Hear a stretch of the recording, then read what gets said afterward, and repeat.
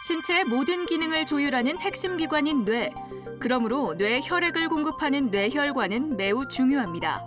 특히 한겨울에는 뇌혈관이 수축돼 뇌경색 환자가 급증하는데요. 갑작스런 마비와 언어장애, 그리고 심한 두통 등의 증상을 겪는다면 뇌경색을 의심해봐야 합니다.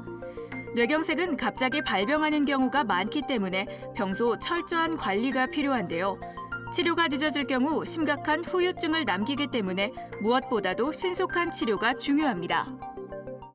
오늘 TV 닥터에서는 머릿속 시한 폭탄, 뇌경색의 진단과 치료에 대해 자세히 알아보겠습니다. 뇌혈관 질환을 진료하는 의사의 입장에서 사실 지난 한 해를 되돌아보면은 네.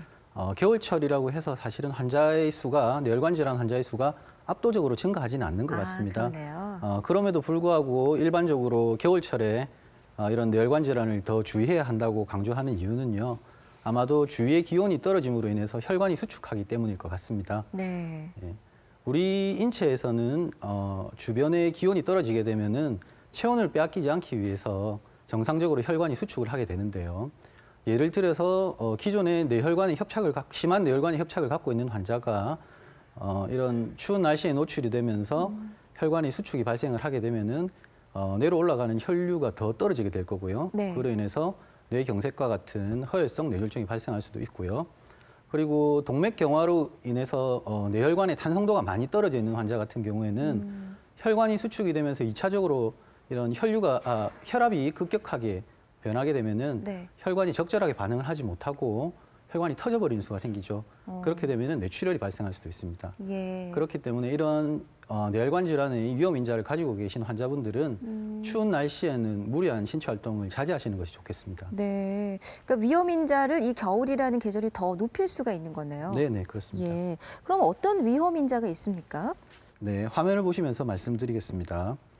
뇌혈관 질환의 가장 중요한 위험 인자는 고혈압입니다. 음. 고혈압은 통계마다 조금씩 차이가 있을 수는 있지만 우리나라에서 유병률은 남자에서는 약 25% 정도, 네. 여자에서는 한 20% 정도로 남자에서 5% 정도 높은 것으로 되어 있는데요. 연령이 증가함에 따라서 유병률도 높아지는 것으로 되어 있습니다. 그러면 이런 위험 인자들이 구체적으로 이 뇌혈관에 어떤 영향을 이렇게 줘서 어, 더 위험성을 올리는 건가요? 뇌혈관 질환이 막히는 원인은 여러 네. 가지가 있는데요. 어, 뇌혈관 질환을 일으키는 가장 흔하고 중요한 원인은 죽상동맥 경화증입니다. 이러한 죽상동맥 경화증의 진행 과정을 잠깐 살펴보시면요. 네. 어, 우리의 혈관은 밖에서부터 외막, 중막, 내막의 세 층으로 이루어지게 되는데요.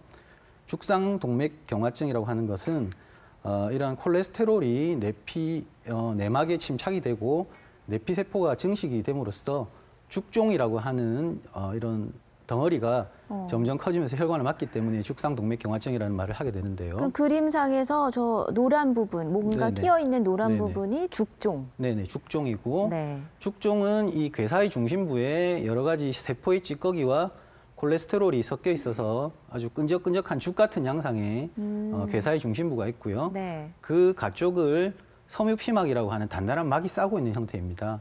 그런데 우리 예를 들어서 마치 화산이 폭발하는 것처럼 이런 섬유 피막이 약해진 부분이 터지면서 이런 괴사의 중심부가 혈류에 노출이 되게 되면요. 네.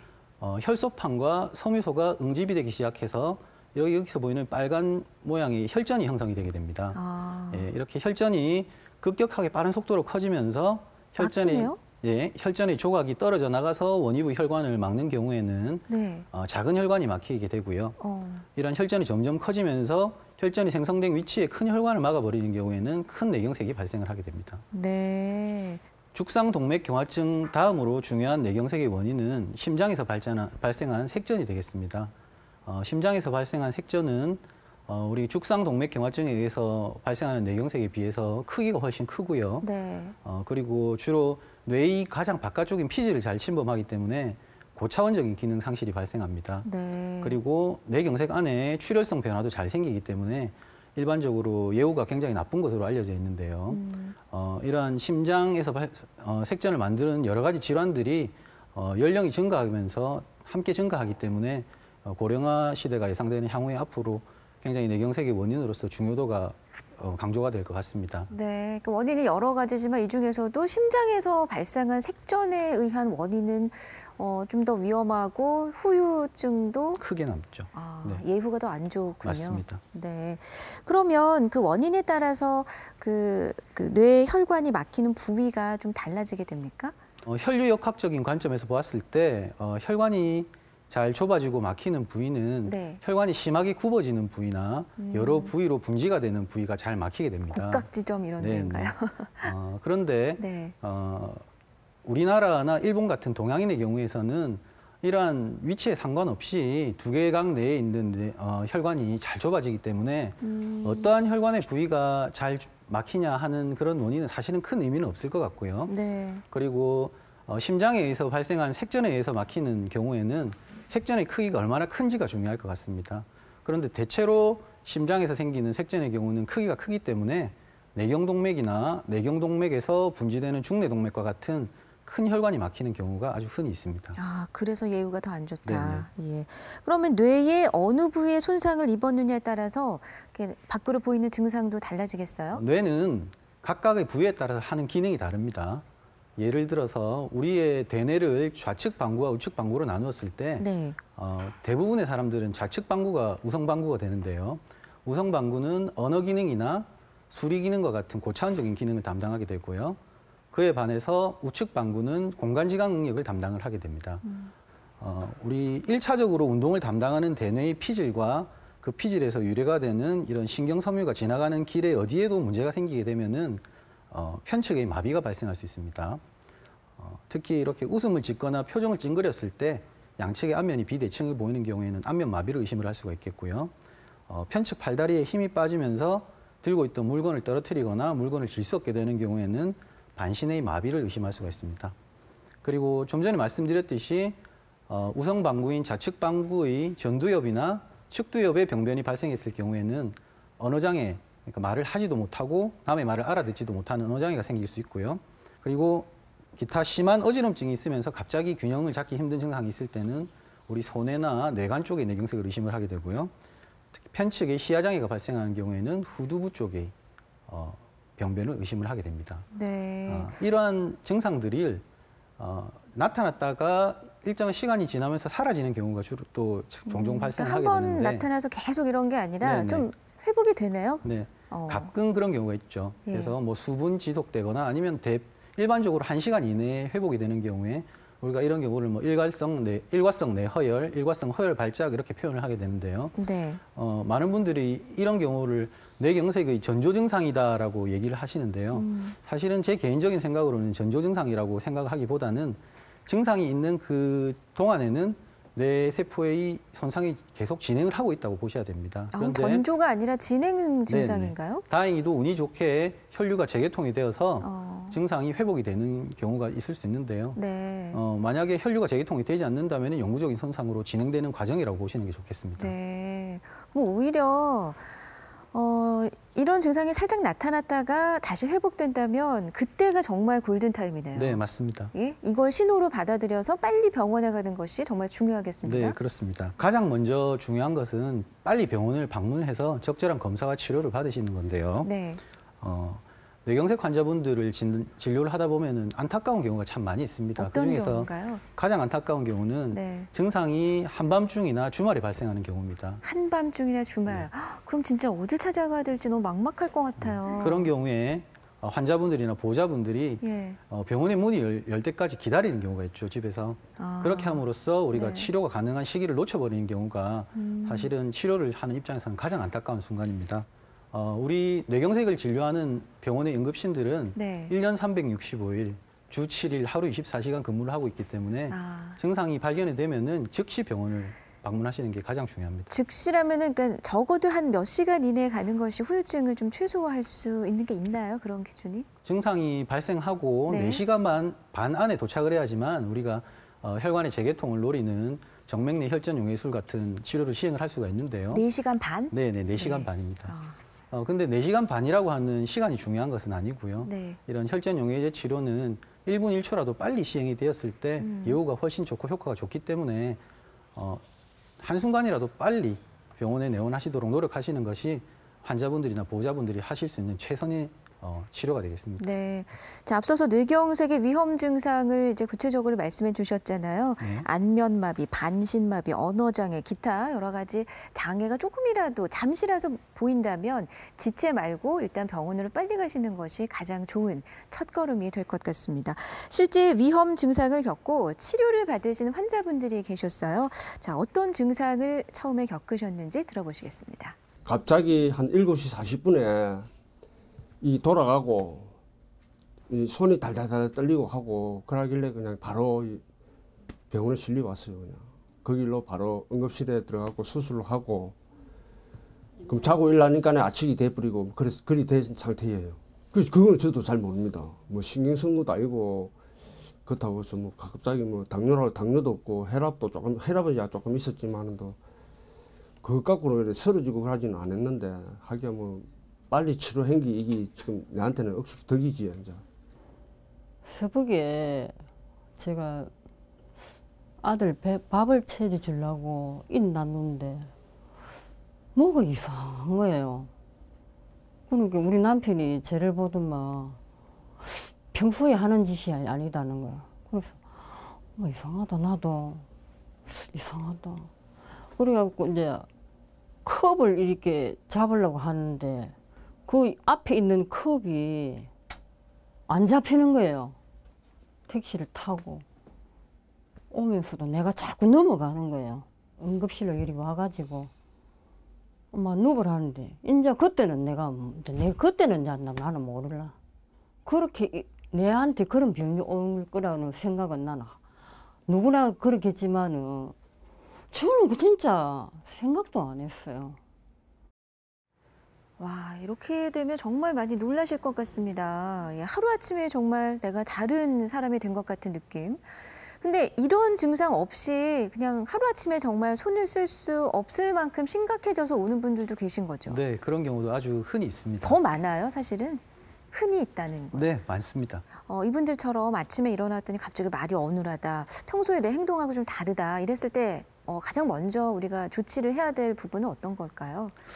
뇌혈관 질환에 적절하게 대처하기 위해서 가장 중요한 부분은 네. 어, 뇌경색에서 어떤 증상이 발생하는지를 잘 인지하고 계시는 겁니다. 음. 예를 들어서 반신에 마비가 생긴다든지 언어 장애가 생긴다든지 어, 말이 어둔해지는 구음 장애가 생긴다든지 네. 어, 시야의 장애가 생긴다든지 어, 어지럼증이 생기면서 심한 균형 장애가 생긴다든지 음. 어, 특히 이런 경우에 손발을 이렇게 바늘로 어, 뚫어서 피를 낸다든지 아, 손을 네. 따야 돼. 네, 뭐 네, 그렇잖아요. 그럼 팔다리를 주무르신다든지 아. 뭐 침을 놓고 이렇게 집에서 기다리신다든지 하는 예. 효과가 입증되지 않은 치료를 시행을 하시면서 음. 치료 시기를 놓치게 되는 경우가 있는데요. 실제로 그런 환자 보셨어요? 아주 많습니다. 아주 많습니까? 네. 네, 그래서 절대 그런 치료를 시행을 하셔서는 안 되겠고요. 아, 어, 그래서 네. 그리고 또 의식이 저하되어 있는 환자에게 뭐 환약이라든지 뭐 음. 어떤 약을 억지로 먹이려고 하는 시도하는 경우가 있는데요. 그건 기도를 막을 수 있기 때문에 굉장히 위험한 행동입니다. 네. 그래서 이러한 경우에 뇌경색과 같은 뇌혈관 질환이 의심이 될 때는 빨리 119로 연락을 하셔서 음. 최대한 적절한 치료를 받을 수 있는 병원으로 가장 빨리 내원하시는 것이 가장 중요하겠습니다. 네. 그리고 나에게 어떤 증상이 나타나는지를 좀 구체적으로 기록이나 기억을 해서 나중에 의료진께 말씀드리면 훨씬 더 그 치료하는데 도움이 많이 될 것 같습니다. 네, 네, 그렇습니다. 예. 근데 이 골든 타임을 놓치게 되면 정말 무서운 것이 뇌경색은 합병증이잖아요. 말씀해 주신 것처럼. 그러면 빠른 치료를 받지 못하면 합병증이 얼마나 위험해지는 건가요? 뇌경색과 같은 뇌혈관 질환은 어, 빠른 치료를 하지 못하는 경우에 어, 이런 합병증이 굉장히 무서운 질환이죠. 네. 특히나 고령에서 잘 발생을 하기 때문에 음. 어, 어떤 경우에는 뇌혈관 질환 자체보다도 합병증이 더 문제가 되는 경우가 흔히 있습니다. 아, 네. 어, 폐동맥 색정증은 우리 환자분들이 잘 움직이지 못하는 상황에서 침상에 오래 누워서 주로 계시는 경우가 많기 때문에 어, 다리 쪽에 있는 심부 정맥 안에서 혈전이 만들어지게 됩니다. 다리 쪽에서. 네네. 이러한 혈전이 어, 혈류를 따라 날아가서 어, 폐에 혈류를 공급하는 폐동맥을 막게 되는 경우가 어, 아주 치명적인 폐동맥 색정증이라고 하는 합병증이 되겠고요. 네. 그리고 뇌경색 환자분들은 대체로 의식 상태가 굉장히 나쁜 경우도 많고 삼킴 장애가 동반이 되는 경우도 많기 때문에 음. 어, 영양의 불균형이 잘 생길 수가 있습니다. 네. 뭐 잘 못 드시니까. 네 네. 그리고 어, 같은 자세로 계속 침상에 누워 계시는 경우가 많기 때문에 예. 이렇게 뼈가 튀어나와 있는 부분에는 음. 지속적으로 압력이 가해지면서 욕창이 잘 생길 수 그러니까 있고요. 계속 우리가 왜 누워서 잘 배기는 부분 그쪽에 욕창이 잘 네, 생기는 그래서 거. 자주 자주 이렇게 자세를 바꿔주고 하는 게 욕창을 어, 예방할 수 있는 중요한 방법이 되겠고요. 네. 그리고 흡인성 폐렴이나 비뇨기계 감염이 발생함으로써 어, 발열이 생기는 환자들도 흔히 볼 수가 있겠습니다. 네. 그리고 신경계 합병증으로는 어, 뇌경색이 부종이 생기면서 뇌압이 상승하는 경우가 있고요. 그리고 뇌경색의 출혈성 변환, 그리고 이러한 발생한 뇌경색이 포커스가 돼서 경련이 발생하는 그런 경우들이 있겠습니다. 야, 이거 뭐 하나라도 참 심각하지 않은 게 없네요. 합병증 그만큼 무서운 것이 이 뇌경색이라고 할 수 있을 텐데 그럼 정확한 치료를 위해서는 일단 어느 부위가 얼마나 막혔는지를 알아야 되잖아요. 네, 그렇습니다. 뭐 어떤 검사를 시행합니까? 가장 많은 정보를 얻을 수 있는 검사는 어, 뇌 및 뇌혈관 MRI가 되겠습니다. MRI를 찍는군요. 네네.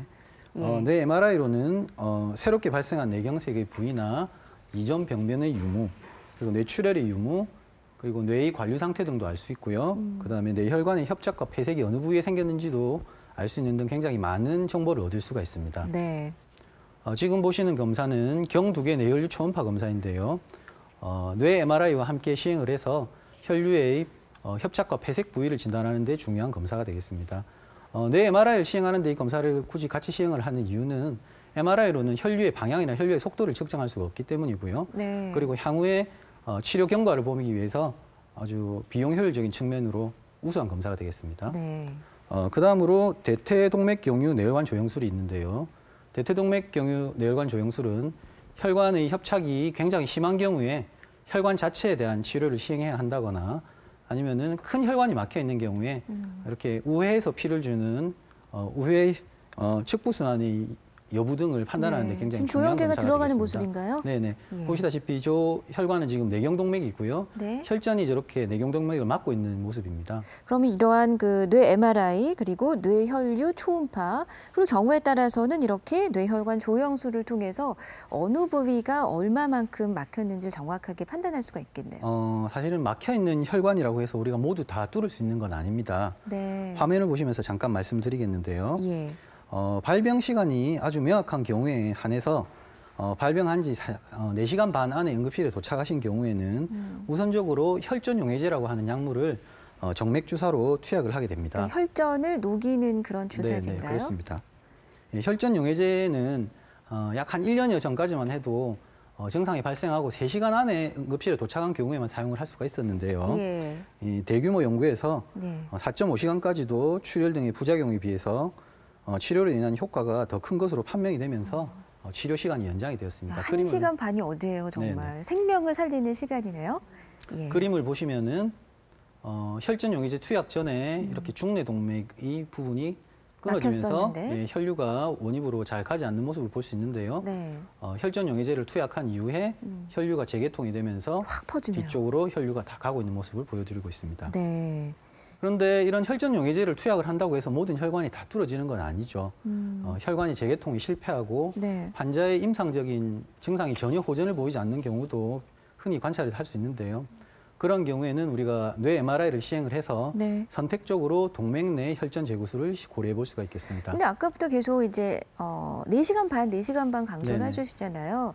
아니 4시간도 아니고 5시간도 아니고 4시간 반 이렇게 정해져 있는 게 뭐 있습니까? 어, 반복적으로 4시간 반이라고 하는 시간을 강조드리는 가장 큰 이유는 네. 어, 4시간 반이 경과해서 혈전 용해제를 정맥으로 투여하게 되면은 뇌출혈과 같은 출혈성 부작용이 매우 많이 증가하게 됩니다. 오히려 뇌출혈이 생길 수 있다고요? 네, 그렇습니다. 예. 어, 그렇기 때문에 우리가 4시간 반이 넘어서 응급실에 도착한 환자들에게는 혈전 용해제는 투약을 하지 않고 있고요. 네. 어, 하지만 제가 계속 4시간 반을 강조드리고 있지만 음. 어, 4시간 반이라고 하는 시간은 적어도 이 시간 안에 응급실에 도착을 해야만 네. 혈전 용해제를 시도해 볼 수가 있다는 얘기가 되겠고요. 예. 우리가 어, 90분을 기준으로 90분 이전에 혈전 용해제가 투약된 환자와 음. 90분 이후에 어, 혈전 용해- 용해제가 투약된 환자들의 예후를 추적 관찰해 보니까 90분 이전에 혈전 용해제가 투약된 환자가에서 치료 결과가 압도적으로 좋았다는 아, 걸 그러니까 확인할 수 통계치네요. 있었습니다. 그렇죠? 4.5시간. 그렇기 때문에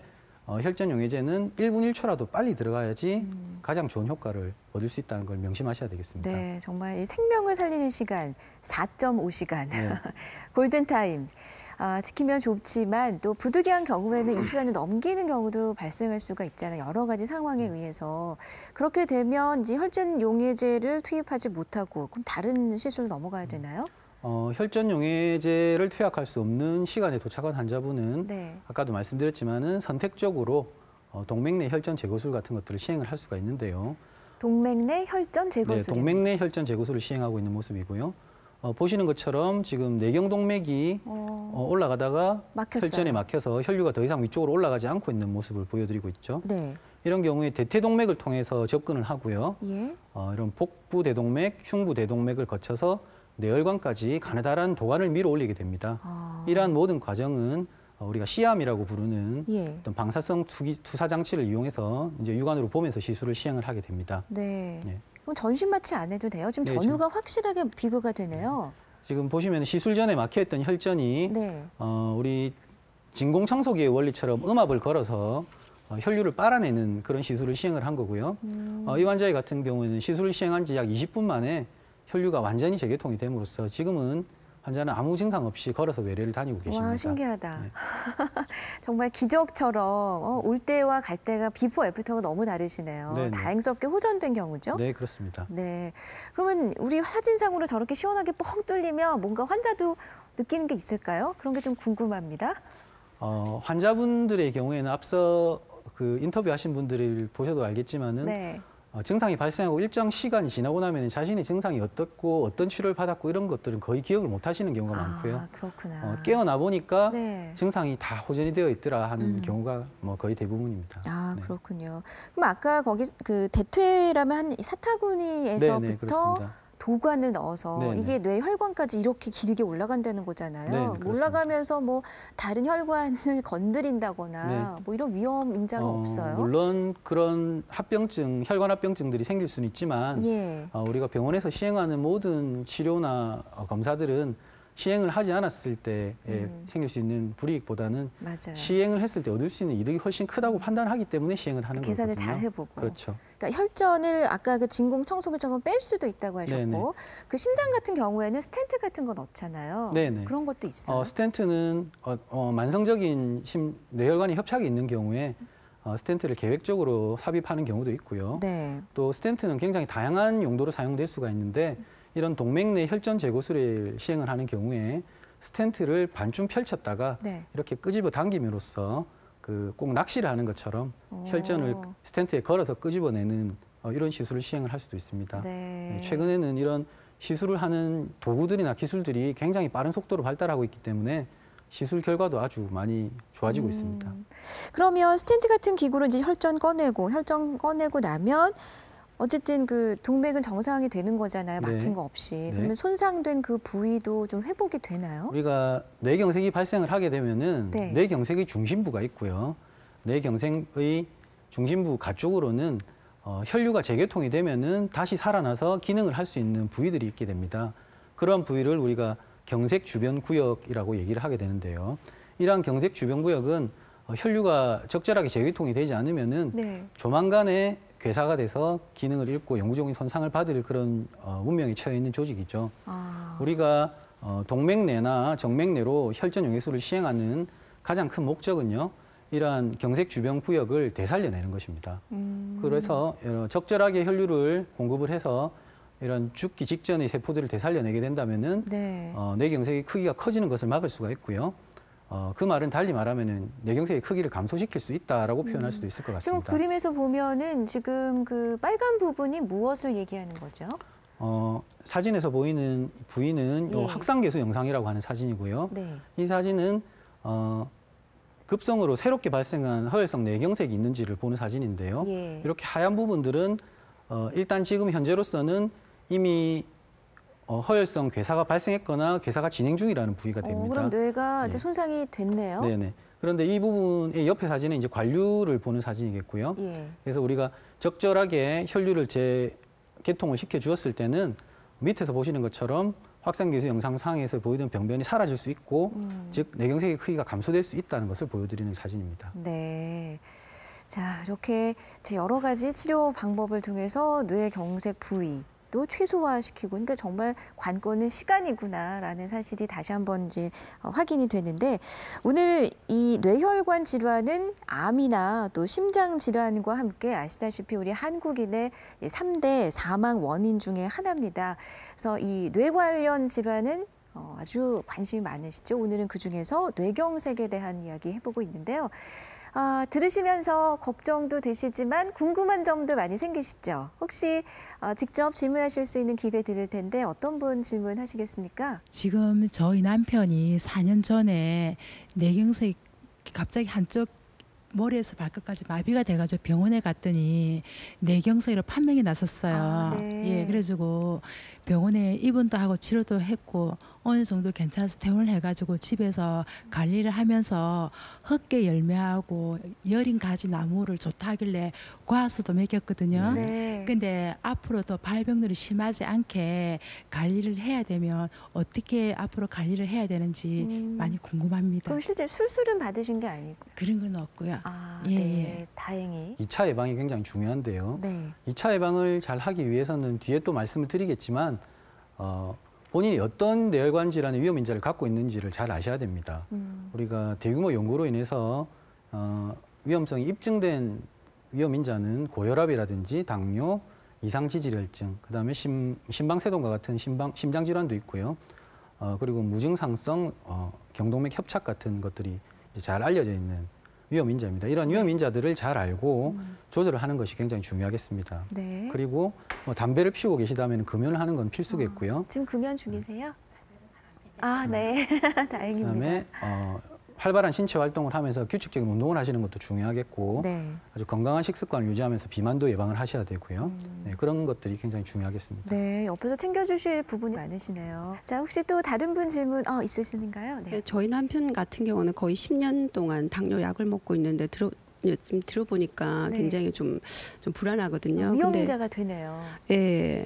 근데 약은 꾸준히 아침 저녁으로 먹고 있는데 그 어, 그것 말고 또 뭘 더 하면은 예방 차원으로 할 수 있는 그 방법이 있으면 좀 들었으면 연세가 지금 어떻게 좋겠습니다. 되시죠, 남편분이? 아, 50여. 아, 지금 딱 네. 쉰 되셨어요. 네. 어, 당뇨가 있는 분들은 물론 철저한 혈당을 조절하시는 것이 철저하게 혈당을 조절하시는 것이 가장 기본이 되겠지만 사실은 혈- 당뇨 환자에서 혈당을 조절하는 것보다 더 중요한 것은 혈압을 조절하는 겁니다. 아, 그래요? 네, 혈압을 오. 더잘 조절하는 것이 당뇨 환자에서 뇌경색을 예방할 수 있는 더 중요한 어, 그런 부분이 되겠고요. 네. 어, 그렇게 하기 위해서는 좀 전에 말씀드렸다시피 뭐 운동도 열심히 하시고 음. 어, 규칙적인 식사를 하시고 어, 혈당에 좋지 않은 음식들은 피하시고 하는 것들이 굉장히 중요하겠죠. 네. 그러면 아까 이제 말씀해 주신 것처럼 치료를 그런 과정을 통해서 받게 되면 어, 뭐 환자가 보였던 여러 가지 증상이 있잖아요. 네. 그게 바로 다 호전이 됩니까? 어, 뇌경색의 치료가 아무리 신속하게 적절하게 이루어진다 하더라도 어, 병이 발생하기 전과 처- 어, 100% 동일하게 회복이 되는 경우는 거의 드물다고 할 수 있겠습니다. 네. 어, 그렇기 때문에 어, 많은 환자들에게서 편측의 마비라든지 언어장애, 그다음에 뭐 구음장애, 안면마비 이런 다양한 양상의 어, 후유증들이 다양한 정도로 남게 되는데요. 그렇기 때문에 신속한 치료가 더 강조가 되는 것 같습니다. 그렇게 되면 이제 기능적으로도 뭔가 음, 떨어지겠지만 예전에 비해서 심적으로도 많이 좀 우울하실 것 같은데요. 음. 네, 가장 흔한 어, 후유증은 네. 뇌경색 후 우울증이 됩- 있습니다. 아, 어, 이러한 뇌경색 후 우울증은 어, 뇌경색 발병 직후보다는 어, 발병하고 한 3개월 이후에 가장 잘 발생을 하는 것으로 되어 있는데요. 네. 어, 환자들의 삶의 질을 떨어뜨리고 또 신체 기능의 회복에도 악영향을 미치기 때문에 굉장히 중요하다고 할 수 있습니다. 네. 어, 환자분들이 다양한 신체 장애를 갖고 있기 때문에 상대적으로 이러한 우울 증상이 좀 과소평가되는 경우가 많이 있는데요. 음. 어, 우리 요즘 최근에는 많은 연구들에서 이런 환자들에게 어, 항우울제 같은 약물 치료를 시행을 했을 때 많은 도움이 되고 있다는 보고들이 있습니다. 아, 보통 이제 저희가 이제 신체적인 그런 뭐 후유증을 더 많이 신경 썼었는데 일단 치료받은 이후에는 가족들이나 주변 분들의 아, 이런 그 정신적인 후유증에 대한 배려도 많이 필요할 것 같습니다. 네, 그렇습니다. 예. 그러면 일단은 어쨌든 오늘 말씀 쭉 듣고 보니까 아, 발생하기 전에 사전에 예방하는 것이 정말 중요하구나. 물론 모든 병이 다 그렇지만 이 뇌 경색 같은 경우에는 특히나 더 사전에 예방할 수 있는 우리가 좀 할 수 있는 방법이 있을까요? 아, 네, 그렇습니다. 뇌 경색과 같은 뇌혈관 질환을 예방하기 위해서는 첫째 자신이 가진 뇌경색의 위험 인자를 잘 알고 있어야 합니다. 그러니까 아까 말씀하셨던 뭐 네. 고혈압, 네, 당뇨, 당뇨, 어, 심방세동과 같은 심장 질환, 네, 어, 그다음에 무증상성 경동맥 협착, 음. 그다음에 이상지질 혈증 이러한 어, 위험 인자들이 본인이 어디에 해당하는지를 잘 알고 이에 대해서 잘 조절을 하는 것이 예방을 하는데 가장 중요한 첫걸음이 되겠습니다. 네. 둘째는 평소에 신체 활동을 많이 하시고요. 규칙적인 운동을 하셔야 하고요. 역시 운동은 빠지질 않네요. 네네. 그리고 어, 셋째로 건강한 식사 습관을 통해서 비만을 예방을 하셔야 됩니다. 네. 그리고 무조건 금연하셔야 되고요. 이건 무조건이 네, 들어가네요. 무조건 금연하셔야 되고요. 네. 과음은 피하시는 것이 좋겠습니다. 예. 그리고 계속 강조드린 것처럼 어, 뇌경색의 위험 증상을 잘 숙지를 하고 계시는 것이 좋겠습니다. 네. 자, 운동과 금연과 그리고 적절한 식사 조절 새해 목표로 꼭 지키셨으면 좋겠습니다. 자, 오늘은 동의의료원 신경과 양태일 과장을 모시고 뇌경색의 여러 가지 알아봤습니다. 오늘 말씀 고맙습니다. 네, 감사합니다. 네.